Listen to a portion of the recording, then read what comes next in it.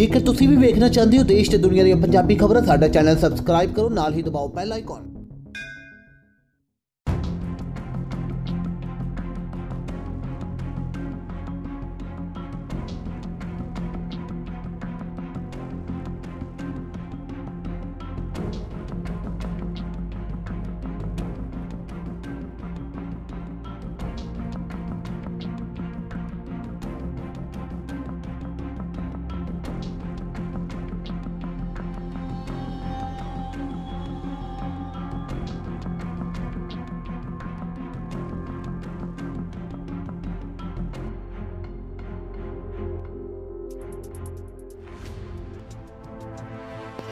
ਪ੍ਰਦੂਸ਼ਣ ਦੀ ਚਾਦਰ 'ਚ ਡੁੱਬਿਆ ਜਲੰਧਰ।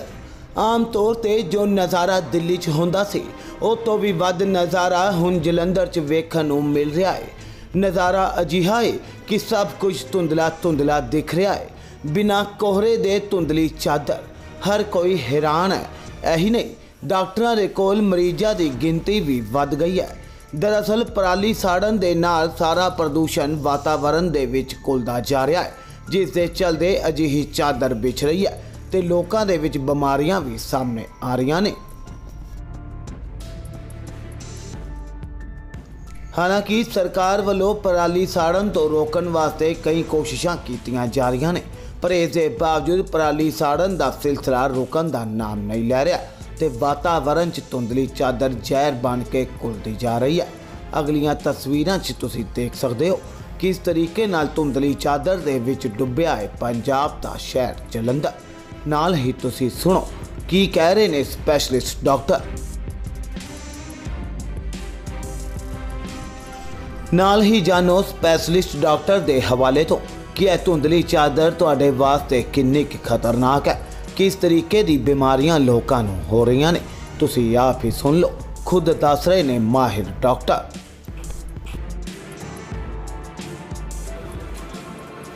ਸਰ ਲਗਾਤਾਰ ਕਿਸਾਨਾਂ ਵੱਲੋਂ ਪਰਾਲੀ ਨੂੰ ਏਅਰ ਕੁਆਲਿਟੀ ਦੀ ਗੱਲ ਕਰੀਏ ਤਾਂ ਏਅਰ ਕੁਆਲਿਟੀ ਕਾਫੀ ਖਰਾਬ ਹੋ ਰਹੀ ਹੈ।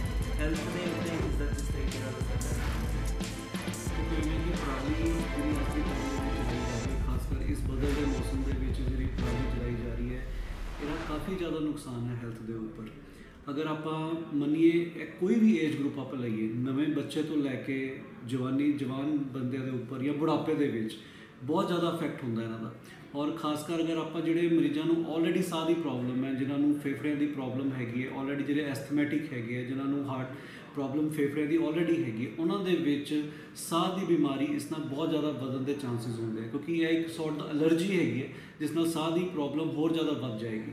ਔਰ ਖਾਸ ਕਰ ਜਿਹੜੇ ਮਰੀਜ਼ ਆਲਰੇਡੀ ਹਾਰਟ ਦੇ ਪੇਸ਼ੈਂਟਸ ਹੈਗੇ, ਜਿਨ੍ਹਾਂ ਨੂੰ ਹਾਰਟ ਅਟੈਕ ਦੀ ਬਿਮਾਰੀ ਹੋ ਚੁੱਕੀ ਹੈ ਹਾਰਟ ਕਮਜ਼ੋਰ ਹੈ, ਉਹਨਾਂ ਦੇ ਉੱਪਰ ਇਸ ਚੀਜ਼ ਦਾ ਬਹੁਤ ਜ਼ਿਆਦਾ ਇਫੈਕਟ ਹੋਏਗਾ। ਕਿਉਂਕਿ ਅਗਰ ਲੰਗਸ ਦੇ ਵਿੱਚ ਪ੍ਰੋਬਲਮ ਆਏਗੀ ਫੇਫੜਿਆਂ 'ਚ ਪ੍ਰੋਬਲਮ ਆਏਗੀ, ਸਾਹ ਲੈਣ 'ਚ ਦਿੱਕਤ ਆਏਗੀ ਔਰ ਨੇਚਰਲੀ ਆਕਸੀਜਨ ਦੀ ਕਮੀ ਹੋਏਗੀ ਸਰੀਰ ਦੇ ਵਿੱਚ, ਉਸ ਦੇ ਨਾਲ ਹਾਰਟ ਦੇ ਉੱਪਰ ਹੋਰ ਜ਼ਿਆਦਾ ਇਫੈਕਟ ਪੈਂਦਾ ਲੋਡ ਪੈਂਦਾ ਹਾਰਟ ਦੇ ਉੱਪਰ ਔਰ ਖਾਸ ਕਰ ਜਿਹੜੇ ਹਾਰਟ ਦੇ ਮਰੀਜ਼ ਹੈ ਉਹਨਾਂ ਦੇ ਵਿੱਚ ਹੋਰ ਜ਼ਿਆਦਾ ਅਟੈਕ ਹੋਣ ਦੇ ਚਾਂਸਸ ਵੱਧ ਜਾਂਦੇ ਆ ਬਲੱਡ ਪ੍ਰੈਸ਼ਰ ਵਧਣ ਦੇ ਚਾਂਸਸ ਵੱਧ ਜਾਂਦੇ ਆ ਹਾਰਟ ਕਮਜ਼ੋਰ ਹੈ ਤੇ ਹਾਰਟ ਫੇਲਿਅਰ ਦੇ ਚਾਂਸਸ ਵੱਧ ਜਾਂਦੇ ਆ ਸੋ ਓਵਰਆਲ ਇਸ ਸੀਜ਼ਨ ਦੇ ਵਿੱਚ ਜਿੰਦਾ ਪਰਾਲੀ ਜਲਾਈ ਜਾ ਰਹੀ ਹੈ ਉਸ ਦੇ ਕਾਰਨ ਲੰਗਸ ਦੇ ਉੱਪਰ ਇਫੈਕਟ ਤਾਂ ਪੈਂਦਾ ਹੀ ਪੈਂਦਾ ਬਟ ਉਸ ਦੇ ਕਾਰਨ ਹਾਰਟ ਦੇ ਉੱਪਰ ਵੀ ਡਬਲ ਇਫੈਕਟ ਹੋਣ ਦੇ ਚਾਂਸਸ ਹੋ ਜਾਂਦੇ ਆ खोया प्यार वापस पाएं मनचाही शादी गृह क्लेश खत्म करने के उपाय कारोबार में हानि पीआर विदेश यात्रा लॉटरी नंबर मुठकरनी वशीकरण हर समस्या का समाधान बस फोन उठाएं और स्क्रीन पर दिखाए नंबर पर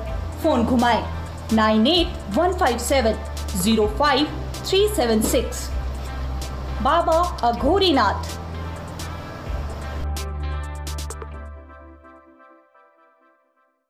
ਚਮਤਕਾਰ ਹੁੰਦੇ ਨੇ ਦੇਖੋ ਆਪਣੀਆਂ ਅੱਖਾਂ ਸਾਹਮਣੇ 3 ਘੰਟੇ 'ਚ ਹਰ ਪਰੇਸ਼ਾਨੀ ਦਾ ਹੱਲ ਪਾਓ। ਸੱਤ ਇਲਮਾਂ ਦੇ ਮਾਹਿਰ ਦਿਵਾਂਸ਼ੂ ਜੋਸ਼ੀ। ਮੇਰੇ ਕੀਤੇ ਨੂੰ ਕੋਈ ਕੱਟ ਨਹੀਂ ਸਕਦਾ। ਕੱਟਣ ਵਾਲੇ ਨੂੰ ਮੂੰਹ ਮੰਗਿਆ ਇਨਾਮ। ਪਰੇਸ਼ਾਨੀ ਜਿਵੇਂ ਮਨਚਾਹਾ ਪਿਆਰ ਪਤੀ ਪਤਨੀ ਚ ਕਾਲੇ ਜਾਦੂ ਦਾ ਖਾਤਮਾ, ਬਿਮਾਰੀ ਦਵਾ ਨਾ ਲੱਗਣਾ, ਵਸ਼ੀਕਰਨ ਕਰਵਾਓ, ਜਿਸ ਨੂੰ ਚਾਹੇ ਉਸ ਨੂੰ ਆਪਣੇ ਵਸ 'ਚ ਕਰੋ। ਲਾਟਰੀ ਨੰਬਰ ਪਾਓ, ਭਾਵੇਂ 649 ਹੋਵੇ ਜਾਂ ਲੋਟੋ ਮੈਕਸ। ਧੋਖੇਬਾਜ਼ ਪ੍ਰੇਮੀ ਪ੍ਰੇਮਿਕਾ ਸੌਤਨ ਦੁਸ਼ਮਣ ਨੂੰ ਆਪਣੀਆਂ ਅੱਖਾਂ ਸਾਹਮਣੇ ਤੜਫਦਾ ਵੇਖੋ। 7082844950